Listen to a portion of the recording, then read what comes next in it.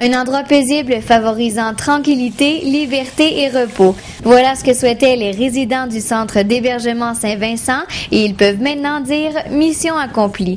Le parc Oasis des Jardins est le quatrième jardin construit par le Centre de santé et de services sociaux, complétant ainsi ce type d'aménagement dans les centres d'hébergement de Sherbrooke.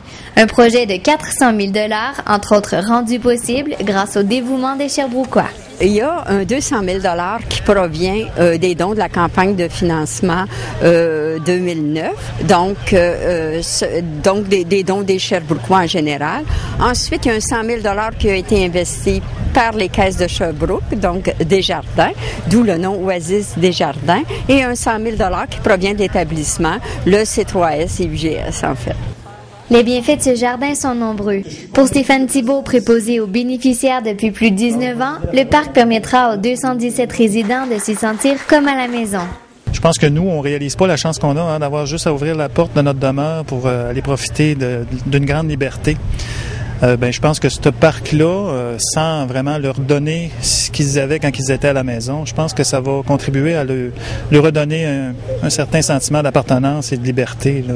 Ils vont être capables de sortir, aller se ressourcer dans la nature. Autrefois prise à faire des promenades peu sécuritaires dans le stationnement du centre d'hébergement, Emeline Daigle, 82 ans, se voit ravie de se balader dans un jardin aménagé pour elle. Ça a changé beaucoup ma vie. Ça augmente ma qualité de vie. C'est pour vous dire comment est-ce que c'est beau de pouvoir sortir au grand air et de chasser toutes nos mauvaises idées qui peuvent nous arriver. Natacha Lavigne pour estriplus.com